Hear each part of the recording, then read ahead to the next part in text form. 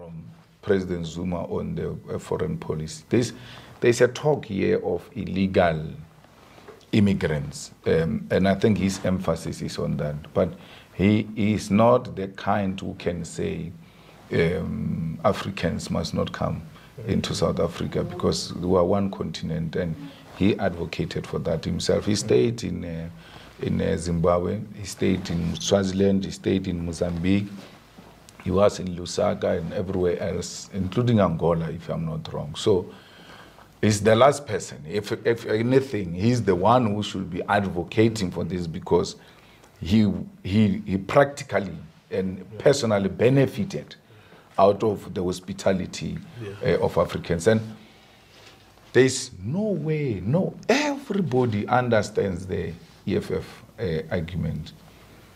Do you know that uh, Venda was a republic, uh, Lebowa was a republic, Bophuthatswana was a republic, uh, and KwaZulu Natal and all of that, uh, Those the including Seskans, yes. yeah, Bantustans. They, they, you needed a passport uh, to go to Venda. We collapsed the borders in Venda that, and said, no more. We are one thing. We are one South Africa because we're always made to imagine us being different people, the same way they make us believe now. After the collapse of vendors, uh, um, of the border, we never experienced the influx of vendors into Johannesburg. The people of Vhembe are still there. You will find them. It's not an abandoned land because they saw greener pastures in Johannesburg. They said, We're no longer staying here, we're going to Johannesburg. What these people are saying is a swart gevaar. It is threatening, intimidating as South Africans that you are actually going to have more in your yard if these people are going to come here, which is practically impossible. Why would uh, the people of Mozambique leave Mozambique? Because they are doing relatively well.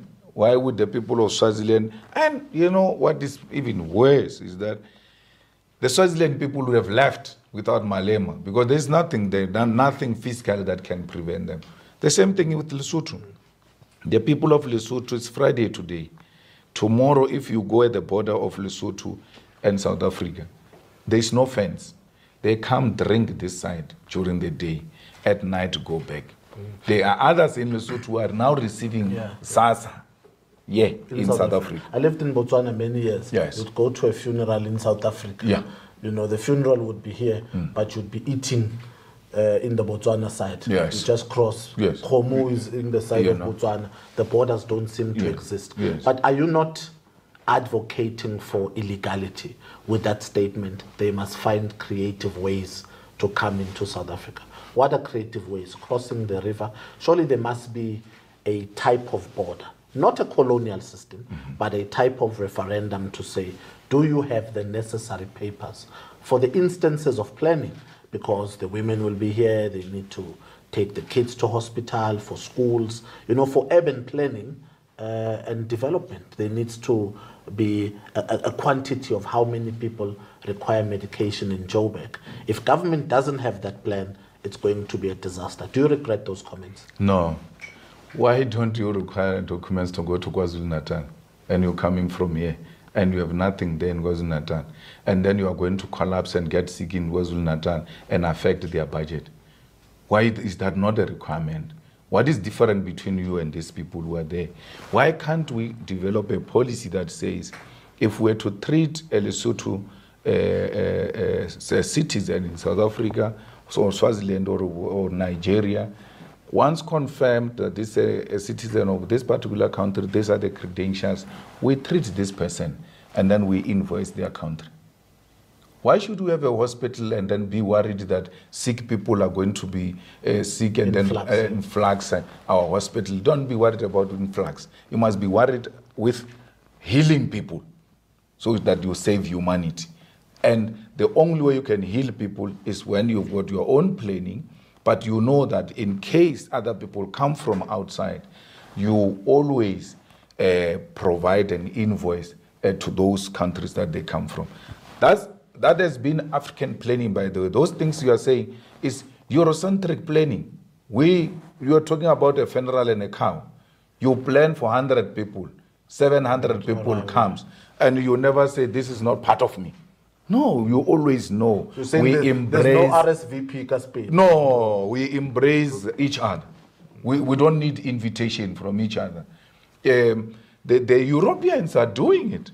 Uh, the people who are advocating for us not to do it, there is no border uh, in Europe. You wake up uh, in Milan and then you go and eat breakfast in Paris and have uh, uh, your lunch in Germany. They, with ease, without any paper, without talking to anyone. My brother, you're sitting here, you've got an idea, these people are not listening to you. Wake up one morning, get into a car, go and make that presentation in Zimbabwe, in Mozambique, in Angola. Without knowing their language, but with a brilliant idea. Before you know it, you know it, you are a citizen there. You're working there, they embrace you. So the poor do not have the necessary means actually to can even leave their countries to come here. Most of the people you see here is the people who had the means to come here. But worse, because I'm, we're going to Easter and I've got a property just next to N1 to Zimbabwe. I can't get out of my property with these people going back home. These are the people who you say they influx your country. They are not here to stay. They are here to make the means and they go back to our, their homes. They are never here to stay. They are never here to occupy your land. They are One, never one here to take argument away says from one you. argument says when the Malawans and the Zimbabweans go back home, Hmm.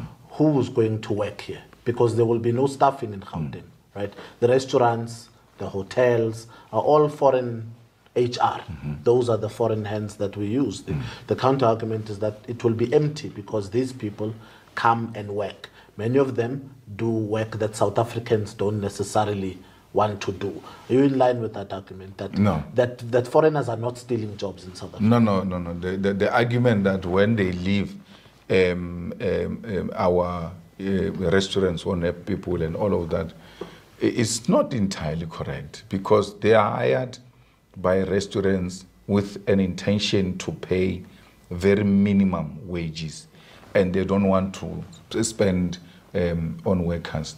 So um, um, if they leave tomorrow and uh, South Africans who are interested to go and work, they will go and work. The problem is going to be for the bosses because South Africans are not going to accept a minimum wage. They, they, they will want wages that speak to their uh, lifestyle, that speaks to their uh, living conditions uh, and qualifications. So uh, bosses don't want to pay. The problem is not Zimbabweans. They don't hire themselves in the restaurants. They don't hire themselves in our houses. Most of these domestic workers are from Lesotho. Um, it doesn't mean South Africans can't do that. But the South Africans are going to demand a certain amount, amount, of of, of money, and people are reluctant to pay. I've got a restaurant, I've got a farm, uh, I've got a butcher in a township. You will not find a single foreigner because uh, I've not uh, the skills I've been looking for. Right, um, I, when I looked for those skills in South Africa, th- there was there was no way I couldn't find them. So I found those skills in South Africa, and therefore there was no need for me to go outside. If I had looked for a skill and I didn't find, there was absolutely nothing wrong with me to go outside and get the people with the skill to come and work here in South Africa. What does Siloma Lima look like at the age of 50?